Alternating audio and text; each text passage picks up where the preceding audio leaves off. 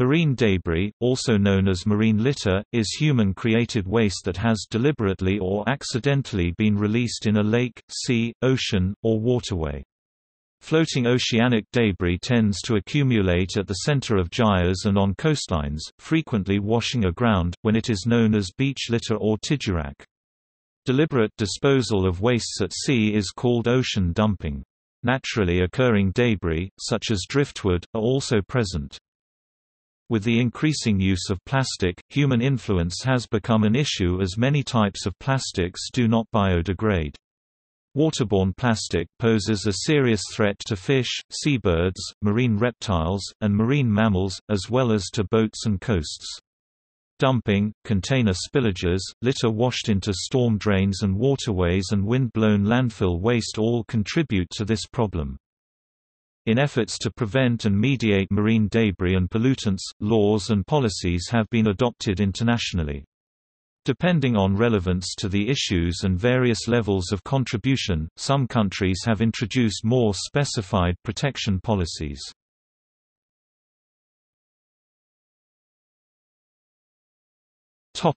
Types of debris Researchers classify debris as either land or ocean-based. In 1991, the United Nations Joint Group of Experts on the Scientific Aspects of Marine Pollution estimated that up to 80% of the pollution was land-based, with the remaining 20% originating from catastrophic events or maritime sources. More recent studies have found that more than half of plastic debris found on Korean shores is ocean-based. A wide variety of man-made objects can become marine debris: plastic bags, balloons, buoys, rope, medical waste, glass and plastic bottles, cigarette stubs, cigarette lighters, beverage cans, polystyrene, lost fishing line and nets, and various wastes from cruise ships and oil rigs are among the items commonly found to have washed ashore. Six-pack rings, in particular, are considered emblematic of the problem. The U.S. military used ocean dumping for unused weapons and bombs, including ordinary bombs, UXO, landmines, and chemical weapons from at least 1919 until 1970. Millions of pounds of ordnance were disposed of in the Gulf of Mexico and off the coasts of at least 16 states, from New Jersey to Hawaii although these, of course, do not wash up onshore, and the U.S. is not the only country who has practiced this. 80% of marine debris is plastic. Plastics accumulate because they typically do not biodegrade as many other substances do. It is however, a common misconception that plastic bags and straws are bad for the marine life like turtles and other aquatic animals. Plastics, especially straws, are a really good source of nutrients for the marine life. They photodegrade on exposure to sunlight, although they do so only under dry conditions, as water inhibits photolysis. In a 2014 study using computer models, scientists from the Group 5 gyres, estimated 5.25 trillion pieces of plastic weighing 269,000 tons were dispersed in oceans in similar amount in the northern and southern hemispheres.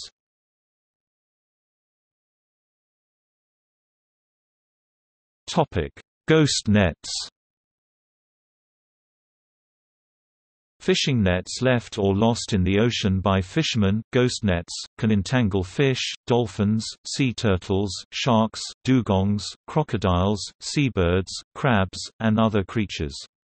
These nets restrict movement, causing starvation, laceration and infection, and, in animals that breathe air, suffocation.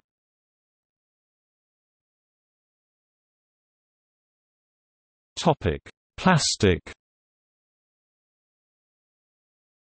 8.8 million metric tons of plastic waste are dumped in the world's oceans each year. Asia was the leading source of mismanaged plastic waste, with China alone accounting for 2.4 million metric tons. Plastic waste has reached all the world's oceans. This plastic pollution harms an estimated 100,000 sea turtles and marine mammals and 1 million sea creatures each year. Larger plastics called macroplastics such as plastic shopping bags can clog the digestive tracts of larger animals when consumed by them and can cause starvation through restricting the movement of food, or by filling the stomach and tricking the animal into thinking it is full. Microplastics on the other hand harm smaller marine life. For example, pelagic plastic pieces in the center of our ocean's gyres outnumber live marine plankton, and are passed up the food chain to reach all marine life. A 1994 study of the seabed using trawl nets in the northwestern Mediterranean around the coasts of Spain, France, and Italy reported mean concentrations of debris of 1,935 items per square kilometre. Plastic debris accounted for 77%, of which 93% was plastic bags.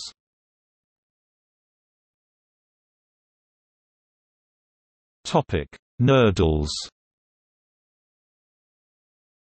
Nurdles, also known as mermaid's tears, are plastic pellets typically under 5 mm in diameter, that are a major component of marine debris.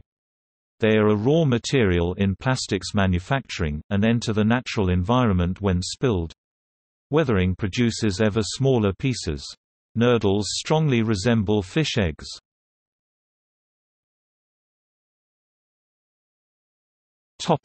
Deep-sea debris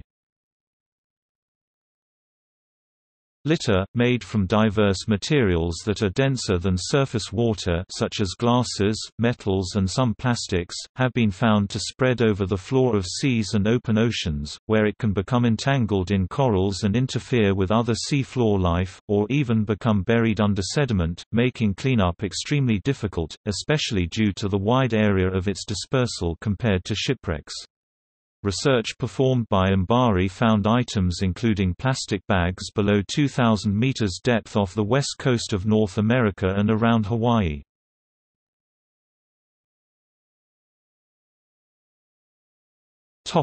Sources of debris The ten largest emitters of oceanic plastic pollution worldwide are, from the most to the least, China, Indonesia, Philippines, Vietnam, Sri Lanka, Thailand, Egypt, Malaysia, Nigeria, and Bangladesh, largely through the rivers Yangtze, Indus, Yellow, Hai, Nile, Ganges, Pearl, Amur, Niger, and the Mekong, and accounting for 90% of all the plastic that reaches the world's oceans. An estimated 10,000 containers at sea each year are lost by container ships, usually during storms. One spillage occurred in the Pacific Ocean in 1992, when thousands of rubber ducks and other toys now known as the Friendly Floatees went overboard during a storm. The toys have since been found all over the world, providing a better understanding of ocean currents. Similar incidents have happened before, such as when Hansa Carrier dropped 21 containers with one notably containing buoyant Nike shoes. In 2007, MSC Napoli beached in the English Channel, dropping hundreds of containers, most of which washed up on the Jurassic Coast, a World Heritage Site. In Halifax Harbour, Nova Scotia, 52% of items were generated by recreational use of an urban park, 14% from sewage disposal, and only 7% from shipping and fishing activities. Around four-fifths of oceanic debris is from rubbish blown onto the water from landfills, and urban runoff. Some studies show that marine debris may be dominant in particular locations. For example, a 2016 study of Aruba found that debris found the windward side of the island was predominantly marine debris from distant sources. In 2013, debris from six beaches in Korea was collected and analyzed, 56% was found to be ocean-based, and 44% land-based. In the 1987 syringe tide, medical waste washed ashore in New Jersey after having been blown from Fresh Kills landfill. On the remote sub-Antarctic island of South Georgia, fishing-related debris, approximately 80% plastics, are responsible for the entanglement of large numbers of Antarctic fur seals. Marine litter is even found on the floor of the Arctic Ocean.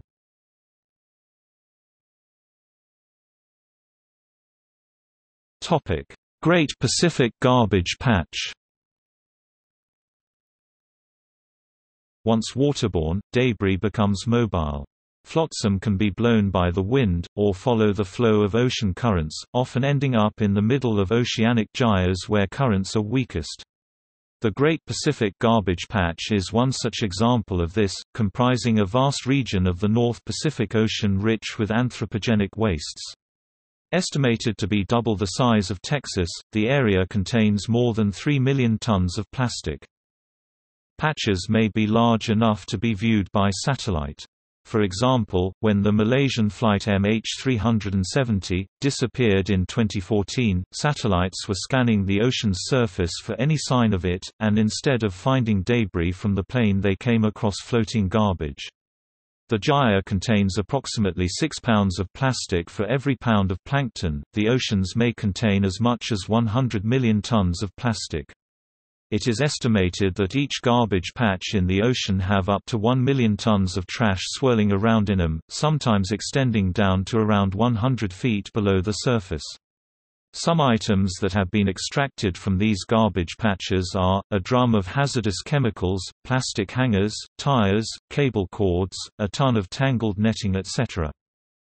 Over 40% of oceans are classified as subtropical gyres. A quarter of the planet's surface area has become an accumulator of floating plastic debris. Islands situated within gyres frequently have coastlines flooded by waste that washes ashore. Prime examples are Midway and Hawaii. Cleanup teams around the world patrol beaches to attack this environmental threat. More than 37 million pieces of plastic debris have accumulated on Henderson Island, a remote Pitcairn island in the South Pacific, reported to be the highest density of debris reported anywhere in the world, yet the trash accounts for only 1.98 seconds worth of the annual global production of plastic.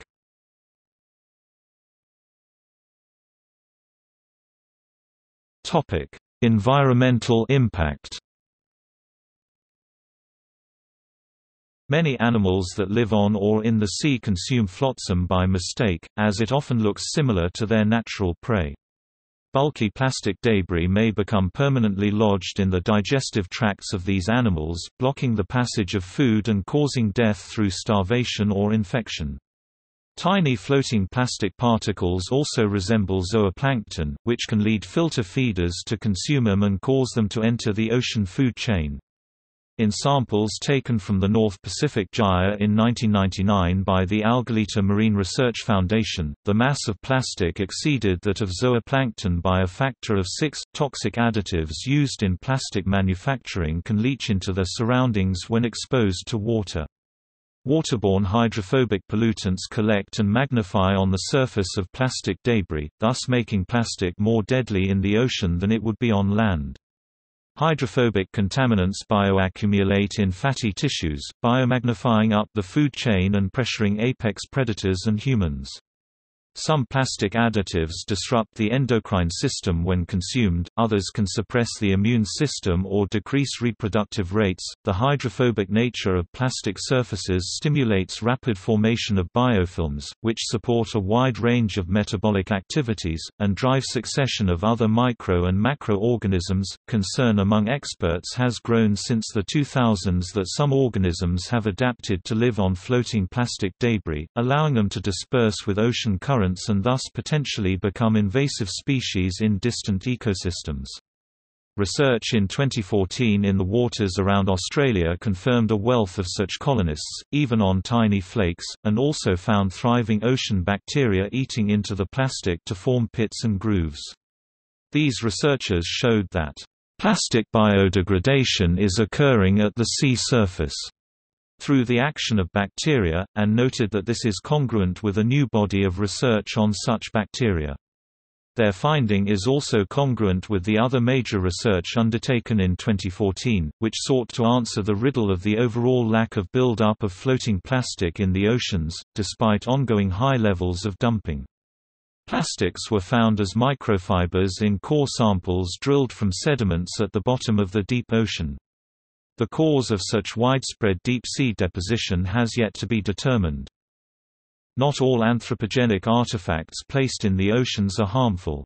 Iron and concrete structures typically do little damage to the environment because they generally sink to the bottom and become immobile, and at shallow depths they can even provide scaffolding for artificial reefs.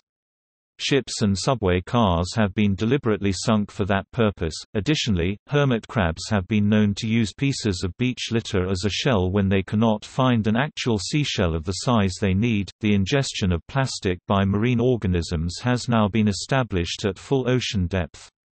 Microplastic was found in the stomachs of hadal amphipods sampled from the Japan, Izu Bonin, Mariana, Kermadec, New Hebrides and the Peru-Chile trenches. The amphipods from the Mariana Trench were sampled at 10,890 meters and all contained microfibers.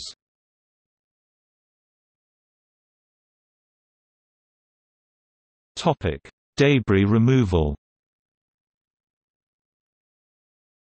Techniques for collecting and removing marine or riverine debris include the use of debris skimmer boats pictured Devices such as these can be used where floating debris presents a danger to navigation. For example, the U.S. Army Corps of Engineers removes 90 tons of drifting material from San Francisco Bay every month. The Corps has been doing this work since 1942, when a seaplane carrying Admiral Chester W. Nimitz collided with a piece of floating debris and sank, costing the life of its pilot. Once debris becomes Beach litter collection by hand and specialized beach cleaning machines are used to gather the debris. Elsewhere, trash traps are installed on small rivers to capture waterborne debris before it reaches the sea. For example, South Australia's Adelaide operates a number of such traps, known as trash racks or gross pollutant traps on the Torrens River, which flows during the wet season into Gulf St. Vincent, in lakes or near the coast, manual removal can also be used. Project Aware for example promotes the idea of letting dive clubs clean up litter, for example as a diving exercise. On the sea, the removal of artificial debris i.e. plastics is still in its infancy. However some projects have been started which used ships with nets Kaisei and New Horizon, to catch some plastics, primarily for research purposes. Another method to gather artificial litter has been proposed by Boyan Slat. He suggested using platforms with arms to gather the debris, situated inside the current of gyres. Another issue is that removing marine debris from our oceans can potentially cause more harm than good. Cleaning up microplastics could also accidentally take out plankton, which are the main lower-level food group for the marine food chain and over half of the photosynthesis on Earth. One of the most efficient and cost-effective ways to help reduce the amount of plastic entering our oceans is to not participate in using single-use plastics, avoid plastic bottled drinks such as water bottles, use reusable shopping bags, and to buy products with reusable packaging. Once a year there is a diving marine debris removal operation in Scapa Flow in the Orkneys, run by Ghost Fishing UK, funded by World Animal Protection and Fat Face Foundation.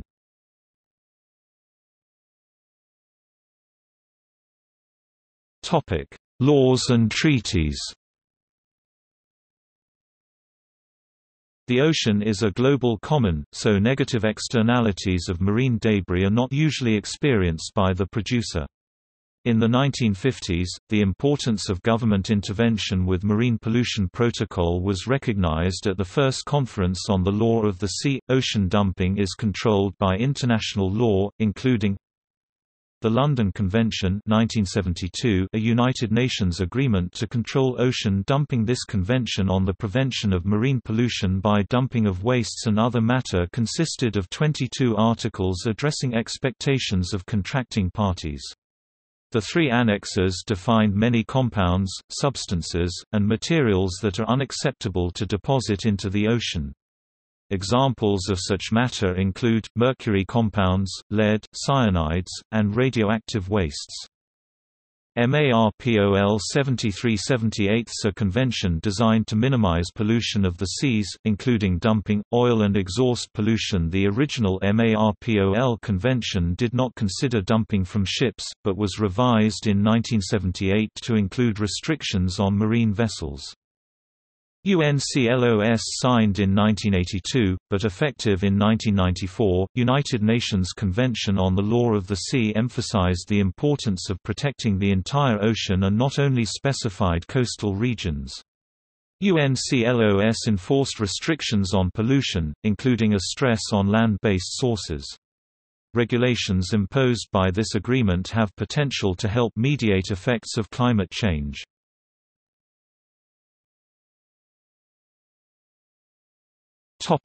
Australian law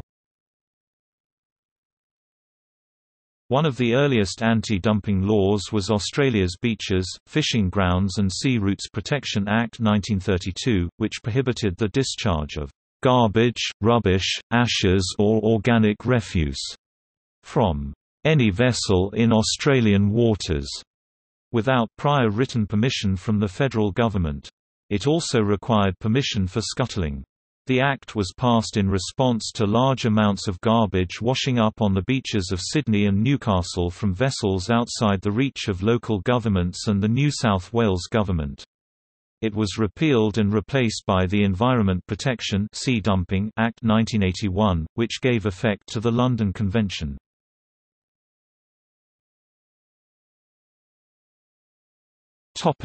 European law In 1972 and 1974, conventions were held in Oslo and Paris respectively, and resulted in the passing of the OSPAR Convention, an international treaty controlling marine pollution in the Northeast Atlantic Ocean. The Barcelona Convention protects the Mediterranean Sea. The Water Framework Directive of 2000 is a European Union directive committing EU member states to free inland and coastal waters from human influence. In the United Kingdom, the Marine and Coastal Access Act 2009 is designed to ensure clean healthy, safe, productive and biologically diverse oceans and seas, by putting in place better systems for delivering sustainable development of marine and coastal environment.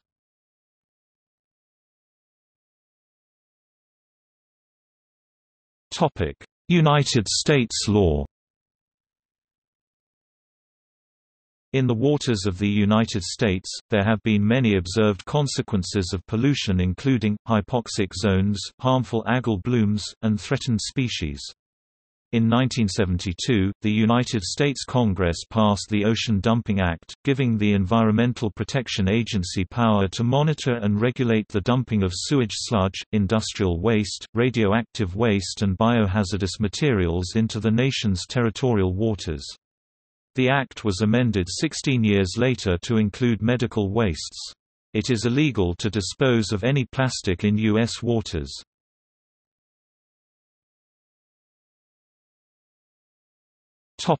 Ownership Property law, admiralty law and the law of the sea may be of relevance when lost, mislaid, and abandoned property is found at sea. Salvage law rewards salvors for risking life and property to rescue the property of another from peril.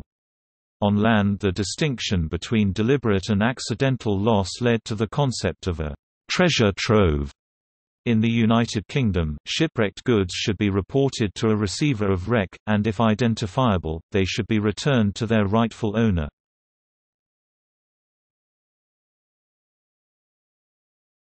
Topic: Activism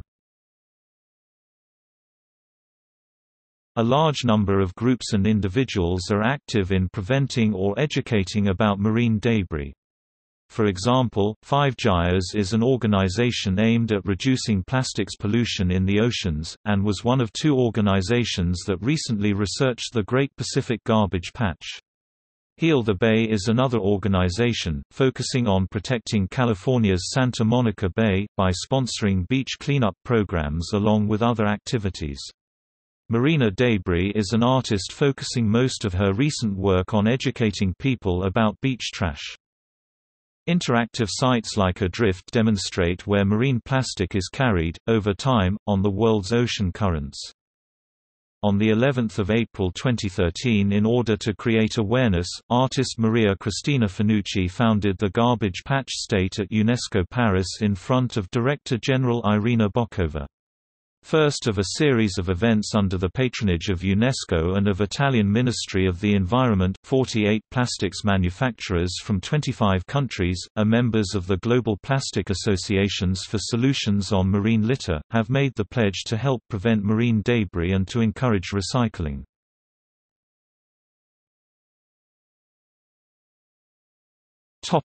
Mitigation Marine debris is a problem created by all of us, not only those in coastal regions. Ocean debris can come from as far away as Nebraska. The places that see the most damage are often not the places that produce the pollution. For ocean pollution, much of the trash may come from inland states, where people may never see the ocean and thus may never put any thought into protecting it. The problem continues to grow in tandem with plastics usage and disposal. Steps can be taken to prevent the movement of inland plastics into the oceans. Plastic debris from inland states come from two main sources, ordinary litter and materials from open dumps and landfills that blow or wash away to inland waterways and wastewater outflows. The refuse finds its way from inland waterways, rivers, streams and lakes to the ocean. Though ocean and coastal area cleanups are important, it is crucial to address plastic waste that originates from inland and landlocked states. At the systems level, there are various ways to reduce the amount of debris entering our waterways. Improve waste transportation to and from sites by utilizing closed container storage and shipping. Restrict open waste facilities near waterways. Promote the use of refuse-derived fuels. Used plastic with low residual value often do not get recycled and are more likely to leak into the ocean. However, turning these unwanted plastics that would otherwise stay in landfills into refuse-derived fuels allows for further use. They can be used as supplement fuels at power plants, improve recovery rates for plastic. In 2012 the United States generated 11.46 million tons of plastic waste of which only 6.7% was recovered Adapt extended producer responsibility strategies to make producers responsible for product management when products and their packaging become waste. Encourage reusable product design to minimize negative impacts on the environment as consumers. There are things we can do to help reduce the amount of plastic entering our waterways, Reduce usage of single-use plastics such as plastic bags, straws, water bottles, utensils and coffee cups by replacing them with reusable products such as reusable bags, metal straws, reusable water bottles, bamboo toothbrushes and reusable coffee cups. Avoid microbeads, which are found in face scrubs, toothpastes and body washes. Participate in a river or lake beach cleanup support municipality bans and other legislation regulating single-use plastics and plastic waste continue to recycle, recycle, recycle. Though the awareness of inland ocean conservation debris mitigation seems to be small compared to coastal states, some organizations in the United States are already working to improve this. The Colorado Ocean Coalition was formed in 2011 with the goal of impressing upon inland citizens that they don't need to see the ocean to care about its health. It has since grown beyond one state and now forms the Inland Ocean Coalition, with the mission of promoting knowledge and awareness of how inland states contribute to pollution of the ocean, aiming to shatter the out of sight, out of mind mentality that often applies in this region. Those who live among mountains, rivers and inland cities have a direct impact on the cycle of life in the ocean, reads the IOCO website. The changes we need to make to address the largest threats facing our seas lowering carbon emissions, reducing trash and pollution, eating sustainable seafood, safeguarding watersheds, promoting marine protected areas MPAs can happen from anywhere in the world. This organization has chapters in many inland U.S. states and promotes programs like watershed cleanups, youth-centered education, and decreasing the use of plastic.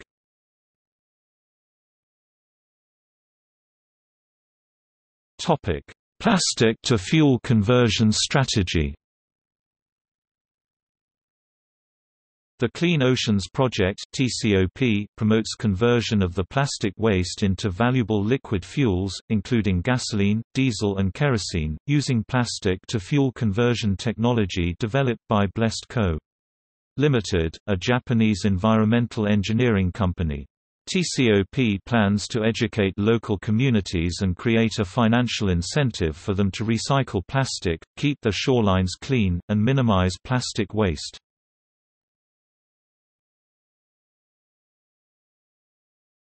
Topic. See also. Flotsam and jetsam. Kamilo Beach. Marina underscore debris. Marine pollution. Plastic pollution. Project Kaisei. Waste management